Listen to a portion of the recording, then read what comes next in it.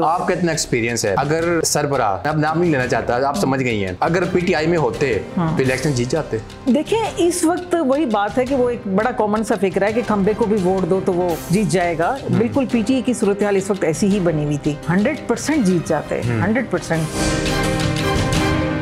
आपने क्यों नहीं हिस्सा लिया? ऐसा मेरे साथ बहुत ज़्यादा प्रॉब्लम्स हो गए थे। अल्हम्दुलिल्लाह, अल्लाह का शुक्र है कि मेरे बच्चे मुल्क से बाहर थे। शायद वो यहाँ पर होते तो बहुत सफ़र करते मेरे साथ। मैंने बहुत सफ़र किया और किस तरीके से मैं जलीलो ख्वार हुई। मैडम आपका इतना तजर्बा जी। है। खान के लिए भी दिल धड़कता है कि नहीं धड़कता? एक सादिया सोहेल और मैं हमेशा एक बात किया करते हैं वो मेरी बड़ी अच्छी दोस्त है तो हम एक ही बात करते हैं कि खान साहब हमारी पहली मोहब्बत थे ये नहीं और पहली मोहब्बत नहीं भूली जाती। अब पीटीआई में वो पोजीशन नहीं रही। अब पीटीआई में बहुत गन एंटर हो गया है। उस गन को पहले फ़िल्टर करना पड़ेगा। वालेकुम नाजरीन। आप देख रहे हैं प्रोग्राम सवाल। मैं हूँ एहसन शहजाद। नाजरीन, आज हमारे प्रोग्राम में मौजूद हैं सीमा अनवार साहिबा और इस्तेकाम पाकिस्तान पार्टी की सीनियर रहनुमा हैं और पीटीआई की भी काफ़ी वर्कर रही हैं और काफ़ी बड़े अहदों पे रही है। और पीटीआई को बड़ा वक्त दिया, बड़ा काम किया पीटीआई में, एक नाम कमाया। उसके बाद प्रेस कॉन्फ्रेंस करवाई गई मैडम से कि आप इस्तेकाम पाकिस्तान पार्टी ज्वाइन करें। तो अब मैडम इस्तेकाम पाकिस्तान पार्टी में चली गई हैं। आज हम बात करेंगे इस्तकाम पाकिस्तान पार्टी के हवाले से कि इस टाइम पार्टी जो है सोई हुई है। तो मैडम जी कैसी हैं? आप ठीक हैं? जी थैंक यू सो मच जी बिल्कुल शुक्र है। आपने मैडम पीटीआई छोड़ी बड़ा काम किया बड़े अहदों पे काम किया आपने। आपसे प्रेस कॉन्फ्रेंस करवाई गई और आप इस्तेकाम पाकिस्तान पार्टी में शमूलियत की। अब आपकी पार्टी इस टाइम सोई हुई क्यों हुई है? हाँ ये शायद न्यू बॉर्न कह लें कि पार्टी है जिसको भी एक्सपीरियंस नहीं है कि पार्टी को चलाना किस तरह है और पार्टी के अहदों को किस तरीके से सेटल करना है और किस तरह मीटिंग्स क्योंकि खान साहब तो बहुत अब खिलाड़ी हो चुके थे माशाल्लाह तेईस चौबीस साल एक बड़ा पीरियड होता है। मैंने भी पार्टी को सोलह साल दिए और बड़े कीमती सोलह साल दिए। तो ज़ाहिर बात है कि अब वो बहुत ग्रो कर चुकी थी। हाँ वहाँ हमें पता था कि किस तरह पार्टी को चलाना है किस तरीके से काम करना है। तो ये पार्टी बिल्कुल न्यू है तो इसको वाकई आपकी बात बिल्कुल दुरुस्त है मैं इसको एग्री करती हूँ कि उनको भी खुद को भी शायद इल्म नहीं है कि किस तरीके से पार्टी को रन करना है। ये एक फ्लॉ है बहुत बड़ा फ्लॉ है और शायद पार्टियाँ इसीलिए ही तबाह हो जाती हैं कि जब वो काम नहीं करती और बैक फुट पे चली जाती हैं तो फिर अच्छा मैडम आप पीटीआई के जब अहदे पे थी और आपको सब लोग जानते हैं आप चैनलों पे जा, जानती हैं जाती हैं आप बोलती हैं बड़ा कुछ बोलती हैं आप। तो खान साहब ने कहा आपने अहदा दिया हुआ था। उसके बाद इस्तेकाम पाकिस्तान पार्टी हम्म। जब ज्वाइन की आपने आप नज़र क्यों नहीं आती फ़ील्ड में? जब इलेक्शन हुआ आप गायब थी और जिमनी इलेक्शन हुआ आप गायब थी। अच्छा नहीं आईपीपी में तो मैंने अलीम खान की ट्रेनिंग करवाई थी। मेरा बेसिकली जो पीटीआई में भी काम था ज़्यादातर वो ये था कि मैं एक तो मीडिया टॉक शोज़ आपको पता है बहुत ज़्यादा करती थी। स्पोक्स पर्सन थी। दूसरा मेरा जो काम था वो था पोलिटिकल ट्रेनिंग टू से ट्वेल्थ से मैंने पीटीए को ट्रेनिंग देनी शुरू कर दी थी और मेरा ख्याल है कि कोई पंजाब का ऐसा कोना नहीं है कि जहाँ पर मैंने जाकर लोगों को वर्कर्स को ट्रेनिंग ना दी हो और पंजाब की मैं हेड थी। तो अल्हम्दुलिल्लाह अब ये है कि मैंने अलीम खान के जो हल्का था अ, वो जीते भी शायद आपको पता है कि वो बहुत ज़्यादा इसलिए जीते हैं कि उनके बहुत वोट थे कि मैंने वर्कर्स को बहुत अच्छी ट्रेनिंग दी कि आप रिगिंग को किस तरह पकड़ सकते हैं या आपका अगर कुछ प्रॉब्लम आ रहा है तो वो क्यों आ रहा है उसको किस तरीके से हैंडल करना है। ये सारी ट्रेनिंग इलेक्शन डे की मैनेजमेंट ये मेरी रिस्पॉन्सिबिलिटी होती है। सरबरा इस्तेकाम पाकिस्तान पार्टी जी। इतने दिल बर्दाश्त हो गए छोड़ गए। आ, कुछ समझ नहीं आई वैसे क्योंकि उनके इख्तलाफात आपको पता है कि खान साहब के साथ भी बहुत ज़्यादा थे। उनके इख्तलाफात सरवर साहब के भी साथ बहुत ज़्यादा थे। पता नहीं कुछ समझ नहीं आई कि वो साइड लाइन हो गए हैं। शायद मेरा ख्याल है पैसा लगाया इलेक्शन लड़ा कि इलेक्शन में हो सकता है उनका चांस मिल जाते उनको वो भी चांस भी खत्म हो गया पैसा भी ज़ाया हो गया सब कुछ ज़ाया बिल्कुल सब कुछ ज़ाया हो गया। मेरा ख्याल है कि शायद वो इलेक्शन ना जीत पाते ये मुझे मुझे लगता है। उसकी वजह यह है कि उनके आपको पता है शुगर मिल्स के बहुत ज़्यादा स्कैंडल आ गए थे। और माइट भी कि उसकी वजह से कुछ लोगों में भी इख्तलाफ पाया जाता था उनकी बहुत एक कंट्रोवर्शियल अच्छा मैडम आपका इतना एक्सपीरियंस है। अगर सरबरा मैं अब नाम नहीं लेना चाहता आप समझ गई हैं। अगर पीटीआई में होते तो इलेक्शन जीत जाते। देखिए इलेक्शन अब भी पीटीआई जीती है। नहीं नहीं नहीं नहीं मैं सरबराह की बात कर रहा हूँ। आ, जो हारे हैं हाँ, हाँ। साइड लाइन हो गए हाँ हैं अगर पीटीआई में होते। तो इलेक्शन जीतते या हारते देखिए इस वक्त वही बात है कि वो एक बड़ा कॉमन सा फ़िक्र है कि खंबे को भी वोट दो तो वो जीत जाएगा हम्म। बिल्कुल पीटीए की सूरत हाल इस वक्त ऐसी ही बनी हुई थी हंड्रेड परसेंट जीत जाते हैं हम्म। हंड्रेड परसेंट क्योंकि वो एक फ़िज़ा बनी हुई थी आपने देखा कि ज़िमनी इलेक्शन में भी और दूसरे में भी किस तरह से विनिंग उनकी सीट हम्म। थी तो एक फ़िज़ा बनी हुई थी और लोगों की सिमतीज़ जैसे ये ऐसे ही मुझे लग रहा है कि जैसे इसराइल और फ़लस्तीन की कोई जंग थी मुझे तो ऐसा ही फील हो रहा है लोगों की सिमतीज़ जो थी हम्म। वो फिर आपने देखा कि कैसे फ़लस्तीन की तरफ़ चली गई मुस्लिम की तरह तो ये शायद ऐसी बात आपने क्यों नहीं हिस्सा लिया ऐसा मेरे साथ बहुत ज़्यादा प्रॉब्लम्स हो गए थे। अल्हम्दुलिल्लाह, अल्लाह का शुक्र है कि मेरे बच्चे मुल्क से बाहर थे। शायद वो यहाँ पर होते तो बहुत सफ़र करते मेरे साथ। मैंने बहुत सफ़र किया। मैंने पिछले एक साल में आप ना पूछें कि लाइफ किस तरह गुजारी और किस तरीके से मैं जलीलो ख्वार हुई। तो मैं नहीं चाहती थी कि मज़ीद आगे जो है वो मैं बेसिकली एक बलोच हूँ। बलोच हमारी फैमिलीज़ में बहुत मुश्किल होता है ख़वातीन का निकलना। और मेरा एक बहुत ट्राइबल एरिया से ताल्लुक़ है बलूचिस्तान और पंजाब का बिल्कुल ये एक एज बनता है। तो वहाँ पर ख़वातीन का निकलना बहुत ही इम्पॉसिबल सी बात होती है। लेकिन मेरे अब्बू क्योंकि वहाँ इलेक्शंस लड़ते थे तो कह लें कि एक विरासती कीड़ा थोड़ा सा कुल बुला रहा था तो मैंने पीटीआई को ज्वाइन किया। और मैंने कुछ ये भी था कि मुल्क को सर्व करूँ। नो डाउट कि उस वक्त हमें ये लगता था कि खान साहब के अलावा और कोई ऐसा मुल्क बंदा नहीं है जो मुल्क को संभाल सके या इसको प्रॉपर डगर पर ले चले। तो फिर इसलिए मैंने को पीटीए को ज्वाइन किया और मुल्क को सर्व करने का बेसिकली एक जो जज्बा था उसके तहत मैंने वैसे मैडम आपका इतना तजर्बा है। जी। खान के लिए भी दिल धड़कता है कि नहीं धड़कता? कि अलीम खान के लिए या जहांगीर खान के लिए धड़कता है दिल? किसके लिए दिल धड़कता है? आज बता ही नहीं आज। एक सादिया सुहेल और मैं हमेशा एक बात किया करते हैं वो मेरी बड़ी अच्छी दोस्त है। तो हम एक ही बात करते हैं कि खान साहब हमारी पहली मोहब्बत थे ये नहीं और पहली मोहब्बत नहीं भूली जाती। मोहब्बत है। बिल्कुल है। बहुत ज़्यादा मोहब्बत है। मोहब्बत तो खैर ज़ाहिर बात है कि एक अभी भी ये हमें फील होता है कि खान साहब ही ऐसे बंदे हैं जो मुल्क को संभाल नाजरीन इसका मतलब ये बनता है कि सीमा नवाज़ साहिबा वापस पीटीआई में आ रही हैं। ऐसा तो नहीं है कोई। है ऐसा? देखिए अच्छा मैं आपको एक बात बताऊँ कि जितना मैंने सफ़र किया और शायद मेरे बच्चे मुझे ये पॉलिटिकल फ़ील्ड में आने ही ना दें। अब मुसलसल मुझ पर प्रेशर है फैमिली की तरफ़ से भी कि इसको खैराबाद कह दो। क्योंकि देखिए मैंने जब ज्वाइन किया था तो हमारे जहन में था कि एक बहुत साफ़ सुथरा माहौल। आपको पता ही कि पीटी में जब खवतिन आई हाँ। थी तो बड़ा अच्छी फैमिली से आई थी। और हमें ये था कि कोई गंद नहीं होगा। लेकिन सॉरी टू से पीटीआई में भी अब बहुत गंद आ गया हाँ। बहुत हमारे जब जब हमने ज्वाइन किया था सतारह साल पहले तो बड़ी एलिट क्लास बड़ी साफ़ सुथरी खवतिन थी। और फिर अब जो अब अब अब इसको लोगों ने स्टेटस सिंबल बना लिया था खवतिन है। बड़ी नेगेटिव दो नंबर खवतिन मैं ओपनली कहूँगी दो नंबर खवतिन जिन्होंने इसको ज्वाइन किया और इन्होंने आके इस पार्टी में बहुत गंद डाला वेमेन विंग में। तो थोड़ा सा दुख होता है तो शायद मैं अब पॉलिटिक्स करूँ ही ना जो मेरा प्लान है। यानी कि आप बड़ी प्रेस कॉन्फ्रेंस करने जा रही हैं और इस्तीफा देने जा रही हैं कि मैं इससे कहा मैं पाकिस्तान पार्टी में नहीं चल सकती। ऐसा तो नहीं हाँ? है शायद शायद शायद। शायद कि हाँ। नहीं मैं अभी कंफर्म नहीं हूँ बट चांसेस इसके बहुत ज़्यादा हैं। जितनी तारीफ़ खान साहब की मैडम ने कर दी है ना कि पहली मोहब्बत तो ज़ाहिर सी बात है किसी को नहीं बोलती कोई भी हो चाहे मर्द को हो जाए चाहे औरत को हो जाए मोहब्बत नहीं बोलती। तो अब मकसद यही है कि कहने मैडम का कि अब मैं प्रेस कॉन्फ्रेंस करूँगी और खैर बात कर दूँगी आराम से घर बैठ जाऊँगी ऐसा ही है। हाँ शायद ऐसा ही हो क्योंकि अभी मैंने रिसेंटली एक वीज़ा कंसल्टेंसी का भी बिज़नेस स्टार्ट किया है। तो ऑलरेडी मेरा एक्सचेंजिंग यूनिट भी चल रहा था जो पुलिस की नज़र हुआ जो बहुत अच्छा चल रहा था। मेरा फॉरेन कंट्री से सारा मेरा ऑर्डर आता था। बट ये आपको पता है कि 9 मई के बाद जो पीटी के बाद हमारे साथ सलूक किया गया तो उसके बाद वो यूनिट मेरा स्टिचिंग बंद हो गया। मेरा सब बिज़नेस ठप हो गया। मैं बड़े दुख से कह रही हूँ कि यकीन करें कि शायद ही कितना जुल्म कहूँगी जो हुआ मेरे इस घर में तोड़ फोड़ हुई यहाँ पुलिस आई। जिसके बाद मैंने खैराबाद कहा तो उसकी वजह यही थी कि हम पर इतना ज़्यादा प्रेशर डाला गया जबकि हम बेकसूर थे।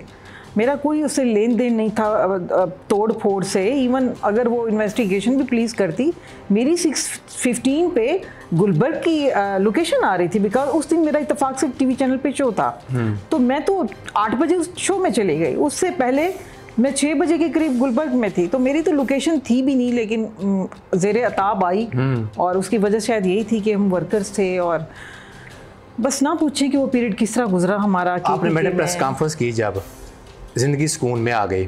अब आप जब प्रेस कॉन्फ्रेंस करने हम्म। जाएँगी तो उसके बाद का क्या होना है फिर? अच्छा मैं आपको एक बात बताऊँ, ये एक लोगों को मिसकनसेप्ट है, जिसको मैं क्लियर करूँगी आपके चैनल के थ्रू वो ये कि शायद अगर पीटीए को छोड़ते हैं और आईपीपी ज्वाइन कर लेते हैं तो आपके केसेस ख़त्म हो जाते हैं। ये एक मिसकंसेप्ट है।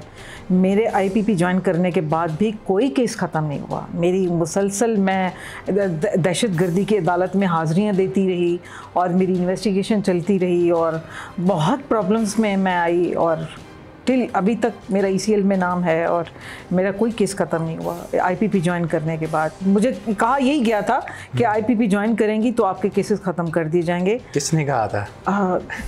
आईपीपी वालों ने। किसी और ने कहा था? आईपीपी वालों ने कहा था और उन्होंने कोई हेल्प नहीं की और उन्होंने कोई प्रॉपर जिसे कहते हैं कि एक्टिविटी इस मामले में नहीं की। वर्कर्स बड़े जलील ख्वार हो रहे हैं। तो आप सियासत से आप फ़िलहाल जा रही हैं। ठीक है ठीक हो गया। तो जब आप कहेंगे अलीम खान से बात होगी या जहांगीर साहब से बात होगी कि मैं अब जा रही हूँ तो अगर वो कहेंगे नहीं मैडम आपने रहना है और इसी पार्टी में रहना है तो आप नहीं प्रेस मैं आपको यकीन से कह सकती हूँ कि वो नहीं कहेंगे। उसकी वजह ये है कि उनको कोई इंटरेस्ट नहीं है पार्टी के साथ। मैंने देखा है वो बिल्कुल बिल्कुल शायद ऑफ़िस में भी मैंने तो उनको कभी नहीं देखा। इलेक्शन से पहले ऑफ़िस में देखा तो उसके बाद तो मैंने उनको ऑफ़िस में भी नहीं देखा। ना वो कॉल्स उठाते हैं ना वो वर्कर्स को मिलते हैं ना वो कोई मीटिंग्स करते हैं ना वो ऑफ़िस में बैठते हैं। तो पोलिटिकल पार्टी ऐसे नहीं चला करती। ये तो पार्टी बनाने का मकसद क्या था मकसद शायद बस एक बनाई गई थी शायद। किसने बनाई थी? आ, ये तो मेरा ख्याल है कि पूरा पाकिस्तान जानता है। मुझे कहने की ज़रूरत नहीं है। वो तो एक अंडरस्टूड सी बात है। अच्छा मैडम पीटीआई में थी जब आप हाँ। तो आपके ऊपर बड़े नोटिस भी भेजे गए थे। वो किस चीज़ की नोटिस से वैसे? हाँ मुझे शो का नोटिस बिल्कुल खान साहब की तरफ़ से मिला था एक। उसकी वजह ये थी कि असल मैंने बड़ा काम किया है। यानी कि शायद एज अ बलोच मैं बड़ी नडर थी। मुझे किसी का डर खौफ नहीं था। मुझे यही था कि क्या है मुझे पार्टी से निकाल दिया जाएगा। हम्म। लेकिन हक सच की बात मैंने सीखी और मुझे खान साहब ने ही सिखाई। वो ये था कि आपको याद होगा कि जब लास्ट इलेक्शन हुआ था तो हमने धरना दिया था इस्लामाबाद में। उससे पहले एक जलसा हुआ था हम्म। जिसमें ये कहा जिसमें हमने बताया था कि चार हल्के खोले जाएँ। उस जलसे में जब मैं गई और मैं सीनियर वाइस प्रेसिडेंट थी पंजाब की उस वक्त तो हम मुझे और मैंने यूनिवर्सिटीज़ की कुछ बच्चियों को अपने साथ लिया जो बाहर खड़ी हुई थी कि वो मेरी प्रोटेक्शन में आगे आना चाह रही थी हम्म। जलसे में तो उनके साथ कुछ बदतमीज़ी की गई पठानों लड़कों की तरफ़ से आपको पता है कि वहाँ किस टाइप के वर्कर्स हम्म। आ जाते हैं रेडी रूढ़ी वाले ये वो तो उन्होंने बहुत शदीद किस्म की बदतमीज़ी की उन बच्चियों के साथ और वो रो रही थी। मैंने उनको प्रोटेक्शन दी फिर मैं उनको लेकर मेरे साथ बहुत बदतमीज़ी हुई फिर मैं उनको ले तो वो मेरी रोता हुआ और उन बच्चियों को प्रोटेक्शन हम्म। करते। एक चैनल जिस वक्त उसकी उस चैनल की हमारे साथ उस वक्त ख़ास एक हम्म। तसल चल रही थी आपको भी याद होगा। तो वो उस चैनल ने सारा कैप्चर कर लिया। हम्म। और फिर क्योंकि मैं गुस्से में थी तो उन्होंने मुझे कहा जी क्या हुआ है आपके साथ? आप हमें बताएँ। मुझे नहीं बताना चाहिए था शायद लेकिन बस मैं गुस्से में थी तो मैंने उनको सब बता दिया कि ये पीटीए की गलती है कि वुमेन इंक्लायर अलहदा क्यों नहीं बनाया जाता हम्म। क्यों मर्दों के अंदर ठोसा जाता है हाँ, खातन को? बिल्कुल। तो ये एक मेरी बड़ी जेनवन डिमांड थी और मैंने बहुत गुस्से में ये बात की जिसको जो आग की तरह पूरे मुल्क में नहीं पूरी दुनिया में फैली। हम्म। क्योंकि उस मुझे याद है इंटरव्यू की वजह से पीटीआई का सऊदी अरब से यूएसए से कनाडा से फंड बंद कर दिया गया था। क्योंकि वो बहुत वायरल हुआ था मेरा क्लिप हम्म। तो उस पर फिर मुझे शोकास दिया गया था कि आपने ऐसी बात पार्टी के अंदर करनी थी चैनल को क्यों की? खैर वो ठीक थे मेरा ख्याल है लेकिन बस वो मुझे गुस्सा था। और उसकी मेरी प्रेसिडेंट थी उस वक्त सलोनी बुखारी। हम्म। उन्होंने मुझे एक बात की जो मुझे आज भी याद है। उन्होंने कहा सीमा तुमने अपनी बली तो चढ़ा दी लेकिन तुम औरतों के लिए काम कर गई हो। हम्म। क्योंकि उस इंटरव्यू के बाद या उस शोकास के बाद खातन का याद के हमेशा से वमेन इंक्लेयर अलहदा बनता रहा। और वो खारदार तारें लगा लगाई गई उसके बाद उनको सेपरेटली फ्रंट पे बिठाया गया। तो वो सारा उस इंटरव्यू का कमाल था। हम्म। तो मैं समझती हूँ कि वो बहुत मैंने खातन के लिए काम किया था ये और बात है खातन बड़ी नाशुक्री हैं लेकिन मैंने किया नहीं आप कर रही हैं इस तकाम हाँ। पाकिस्तान पार्टी आपको अहदा देती हैं कि आप इसके काम करें हम्म। और जाए नहीं हाँ।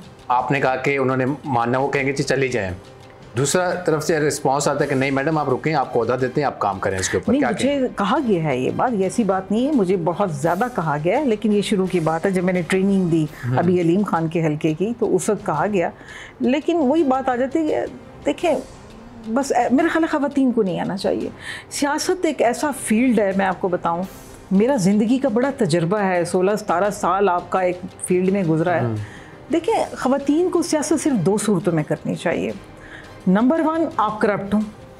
ठीक है? अगर आप करप्ट नहीं हैं तो फिर दूसरी सूरत यह है कि आप सोने का चम्मच लेके पैदा हुई हूँ आपके वाले दादा बाबा सब के हम्म। सब सियासतदान हों और आप उसी फ़ील्ड में आगे आ रही हैं उस सूरत में भी आपको आगे आना चाहिए। तो ख़वान अगर इन दो करैक्टर्स में नहीं है तो तीसरे करैक्टर में हैं तो उनका आगे आना बहुत मुश्किल है। मेहनत के साथ कुछ भी नहीं बनता। आपके सियासत में ख़वान को हरासमेंट किया जाता है? बिल्कुल किया जाता है। मैं पीटी की बात नहीं करती बट ये है कि डिफरेंट पार्टीज़ में जो हम सुनते हैं फ्रेंड्स ज़ाहिर बात है कि पोलिटिकल फ़ील्ड है। हम्म। ख़वान हमारी दोस्त बन जाती हैं। तो हरासमेंट का सामना इस तरह से नहीं है कि ख़वान को किया जाता है ख़वान खुद हरासमेंट के लिए पेश हो जाती हैं। वो एक नेगेटिव इसका इम्पेक्ट है और वो मैं समझती हूँ कि काफ़ी हद तक दुरुस्त भी है। तो जो शरीफ ख़वान हैं जो मेहनती हैं जो काम करने वाली हैं हम्म। उनका कोई फ्यूचर नहीं है। कोई फ्यूचर नहीं है। टाइम ज़ाया कर रही टाइम ज़ाया कर रही हंड्रेड परसेंट ये जो मेरी तरह बेवकूफ़ों की तरह के पाकिस्तान को सर्व करना है हम इस नीयत से आए हैं तो उन जैसा स्टूपिड कोई नहीं है। मेरी ज़िंदगी का ये सोलह सतारह साल का ये निचोड़ है जो मैं आपको बता रही हूँ। ये आपने बहुत बड़ी बातें कर दी ऐसा ही ऐसा ही। तो नाजिन को आप ये भी बता दें कि आप प्रेस कॉन्फ्रेंस कब कर रही हैं आज? देखिए मैंने पहले कहा है कि अभी मेरा कोई प्लान नहीं है लेकिन मैं अभी सोच रही हूँ। तो इस लाइन पर और डेफिनेटली कर दूँगी। फवाद फवाद चौधरी वाला सीन तो नहीं होना कि फवाद चौधरी से पूछा गया एक सहाफ़ी ने सवाल किया कि आप पीटीआई में जा रहे हैं तो उसने आगे ये कहा कि मैंने पीटीआई छोड़ी कब थी? हाँ नहीं ओ, बिल्कुल ऐसा हुआ है। शहबाज गिल को भी आपने देखा शहजाद अकबर को भी देखा। बहुत सारे केसेस ऐसे हैं जो छोड़ गए लेकिन उनकी मोहब्बत कायम रही हम्म। और फिर वो दूर जाकर फिर पीटी के फेवर में बोलना शुरू हो गए। मुझे लगता है कि उनके साथ भी कुछ अच्छा नहीं होने वाला। मुझे बचा के रखो। चले इस पार्टी से। आप दूर हो जाती हैं हाँ, बिल्कुल दोबारा खान साहब की कॉल आ जाती है किसी बड़े की और की कॉल आ जाती है हम्म। कि मैडम आप बहुत पुरानी है बड़ा काम किया हम्म। बड़ा टाइम दिया आपने हम्म। तो वापस आए हैं आप बहुत मुश्किल है आपके घर में आते हैं खाना खाते हैं आके बैठते हैं मैडम मैडम को बनाने जा रहे हैं मैं आपको एक बात बताऊँ जब मैंने ज्वाइन किया था तो तब हालात पीटीआई के बहुत बेहतर थे ख़ान साहब ने मुझे ख़ुद चाइना भेजा और बड़े प्रोटोकॉल के साथ मैं चाइना गई और वहाँ का सारा सिस्टम हमने समझा कि पोल्टी को किस तरह ख़त्म किया हम्म। जाता है चाइना में। तो बहुत मैंने वर्क किया उस पर उनकी मेहरबानी है मुझे इतनी रिस्पेक्ट इतनी ऑनर इज़्ज़त दी सी वालों ने बुलाया। हम्म। लेकिन वही बात मैंने जो पहले अर्ज़ की है कि अब पीटीआई में वो पोजीशन नहीं रही। अब पीटीआई में बहुत गंद एंटर हो गया है। उस गंद को पहले फ़िल्टर करना पड़ेगा।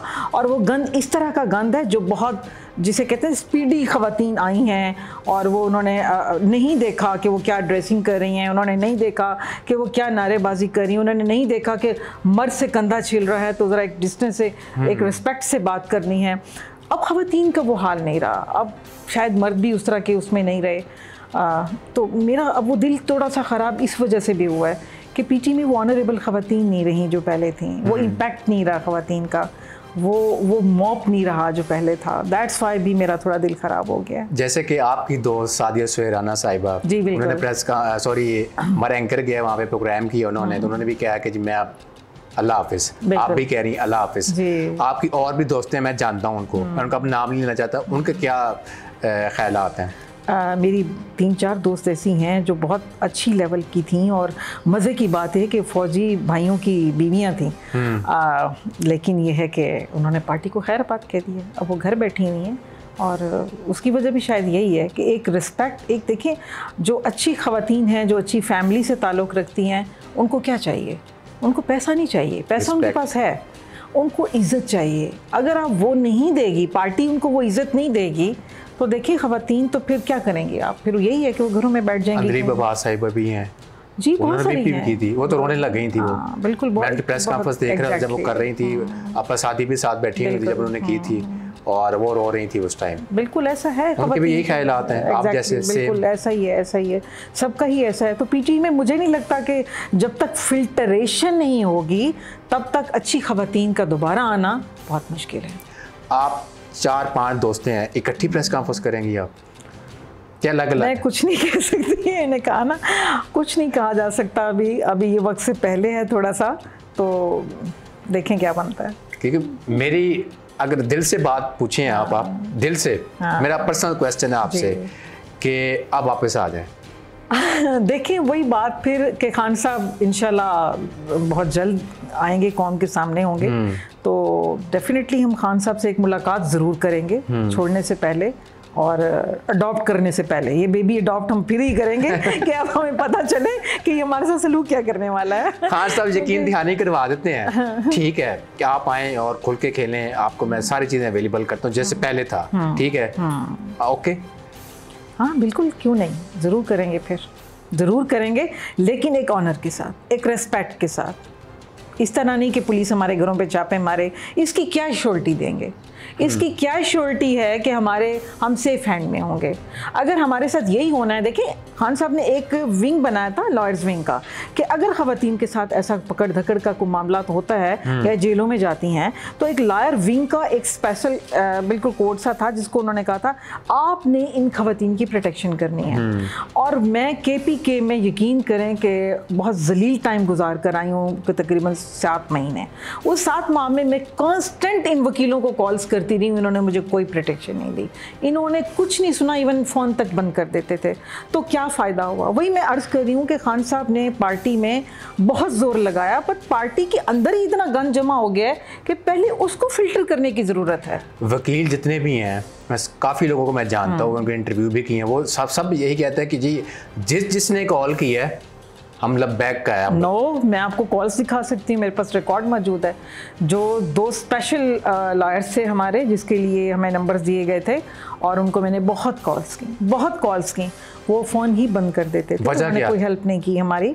बस शायद उनके ऊपर लोड ज़्यादा था। एक और जो छोटा वकील था उसका मैं नाम मेरे ख्याल ले लेना चाहिए। आप तो सलमान सलमान शाहिद हैं जिस बेचारे ने मेरी बहुत हेल्प की है। मैं उसको अप्रिशिएट करती हूँ और उसको हालाँकि खान साहब ने ये काम भी नहीं सौंपा था लेकिन उसने मेरी बहुत हेल्प की। और जब मैंने उनसे बात की उन दो लायर्स के बारे में कि इन्होंने मेरी कोई हेल्प नहीं की हम्म। तो उसने एक बड़ा करारा सा जवाब दिया। उसने कहा मैडम जिनका नाम आप ले रही हैं वो बड़े मगरमच्छों के पीछे हैं। वो सिर्फ़ उनको प्रोटेक्ट करें आप समझ रहे हैं? हम्म। बगड़े मगरमच्छ मीन कि उनको हम्म। बहुत ज़्यादा पैसा वहाँ से मिल रहा है तो वो फिर करना है। देखिए हमने पार्टी पे पैसा खर्च किया। हम्म। मैंने 16-17 सालों में इतना पैसा लुटाया है कि अगर यही पैसा मैं किसी अपने बिज़नेस में लगा लेती तो आज मेरे कहीं कोठियाँ खड़ी होती। तो हमने हमने पार्टी को दिलो जान से सर्व किया। हमने अपना टाइम दिया अपनी यूथ थी अपना पैसा दिया। मैंने तो अपने बच्चों और हस्बैंड को भी सेक्रीफाइस यकीन करें, मेरे हस्बैंड बेचारे कैंसर से सफ़र कर रहे थे और मैं पार्टी की उन दिनों ट्रेनिंग करा रही थी कि इलेक्शन सर पर है। तो हमने तो घरों को नहीं देखा, बच्चों को नहीं देखा। तो आई एम सॉरी मैं बड़ी जज्बाती सी हो रही हूँ, लेकिन हमने बहुत किया है। पार्टी को बहुत किया है, इस मुल्क की खातिर किया है, खान साहब की खातिर किया है। बट वो रिज़ल्ट हमें नहीं मिल सका। आई एम सो सॉरी मुझे वो रिज़ल्ट नहीं मिल सका जो मैं चाहती थी। ये क्या फ़ायदा हुआ फिर? इतना आप पीरियड दें और आपको रिज़ल्ट ना मिले तो तकलीफ़ तो होती है ना। तो फिर छोड़ना तो बनता है। फिर फिर दिल नहीं मानता कि आप इतनी सर्विस के बाद भी। हम सब तो हमें कहते थे कि मायूस नहीं होना। मैं मायूस नहीं हुआ। मैंने 24 साल लगातार सर्विस की है। बिल्कुल ठीक है, लेकिन आपके टांगे तो खींचने वाले शायद कई होंगे। हमारी तो खवतिन ही जान नहीं छोड़ती। आपको खवतिन खवतिन से इतनी जेलस हैं कि आपको कोई खातून आगे नहीं आने देगी। टांगे खींचेंगे आपके करेक्टर एनालिसिस यकीन करें कि बहुत गंदा गया बहुत, ये स्पेशली जो करेक्टर एसोसिएशन है ना, ये ये तो सबसे किलिंग है। रिस्पेक्टेबल खातन के लिए किलिंग है। और वहाँ पे इतना मैंने आपको बताया कि नंबर दो किस्म का गंद पार्टी के अंदर बढ़ चुका है कि उसका सफाया अब बहुत ज़रूरी है। खान साहब उसके मेरी रिक्वेस्ट होगी कि जब आएँ तो सबसे पहले अपनी पार्टी के अंदर फिल्ट्रेशन करें। मैं जब हमारा इंट्रा पार्टी इलेक्शन अनाउंस हुआ था इलेक्शन कमीशन हम्म। ने कहा था तो मैं उसकी पंजाब की कोऑर्डिनेटर थी हेड थी इंट्रा पार्टी इलेक्शन की। और जहांगीर तरीन ने रुकवा दिया था नहीं होने दिया था। नहीं होने दिया था उन्होंने इंट्रा पार्टी इलेक्शन अगर वो हो जाता तो आज फिल्ट्रेशन ऑटोमेटिकली हो चुकी होती। आपके अच्छे लोग ऊपर आ चुके होते आपका गंद निकल नीचे निकल जाता। नहीं होने कुछ अर्सा पहले खबरें चली कि खान साहब के मुखालफी हैं वो खुद चाहते हैं पीटीआई के अंदर के बंदे हैं वो खुद चाहते हैं कि जेल से खान साहब बाहर ना आए। आपकी उन बातों से साबित होता है कि सच है बात। मैंने तो अर्ज़ की है कि पार्टी के अंदर बहुत गंद है। ये अब खान साहब को अपने आ, मेरा ख्याल है कि वो इतना एक खान साहब मज़बूत हो चुके हैं कि उनको अब डेफिनेटली समझ आ अब उनको बड़े हो जाना चाहिए भाई सिंपल कि उनको दुश्मन दोस्त की पहचान होनी चाहिए। कि आपके इर्द गिर्द में इतने दुश्मन इकट्ठे हुए हुए हैं कि आपके वो सांप बन के आपका दूध पी रहे हैं और आप नहीं पहचान पा रहे। मैडम, एंड पे क्या मैसेज देना चाहेंगी खान साहब के लिए और आपके जो पार्टी के सरबराह हैं दोनों, उनको क्या मैसेज देना चाहेंगी? देखिए अलीम खान और शुएब सदीकी के लिए तो मेरा मैसेज है कि खुदारा पार्टी को संभालें। अगर पार्टी बनाई है तो उसको संभालें। ये कोई तरीका नहीं है कि आपने उसको लावारिस छोड़ दिया है पार्टी को। होगा क्या कि जो चार बंदे जो आपके पास आए हैं वो भी नहीं रहेंगे? आ, उन उन दोनों के लिए तो मेरा ये मैसेज है। और बाकी ये है कि खान साहब के लिए आप बात करें तो खान साहब खुदारा जब वापस आएँ पार्टी में फिल्ट्रेशन करें। गंदे लोग बहुत पार्टी में हैं, जो आपकी टांगें खींच रहे हैं, जो आपको काम नहीं करने दे रहे, जो आपको गलत मशवरे दे रहे हैं, जो आपको वर्कर्स के साथ नहीं मिलने दे रहे। खान साहब, नहीं चलेगा इस तरह। दोनों के लिए मेरा ये है कि वर्कर्स के साथ बॉन्ड रखें। आपको कौन जितवाता है? आपके लिए कौन सड़कों पर मरता है? मेरे जैसे बंदे अपने बच्चों घरों को छोड़ के गोलियाँ खाने के लिए सड़कों पर आ जाते हैं? कौन है हम? वर्कर्स हैं। बिल्कुल। तो वर्कर्स के साथ अगर आपका बॉन्ड नहीं है तो आपकी पार्टी ज़ीरो है। आपको आप कुछ भी नहीं है। आप कुछ भी नहीं है। यही वर्कर्स आपकी ताकत हैं। उनको मज़बूत करें। खुदारा दोनों के लिए यही है कि वर्कर्स को मज़बूत करें वरना आप कुछ भी नहीं है। बहुत शुक्रिया मैडम आपका प्रोग्राम में। नाजिन मुझे दीजिए इजाज़त। अल्लाह हाफिज़।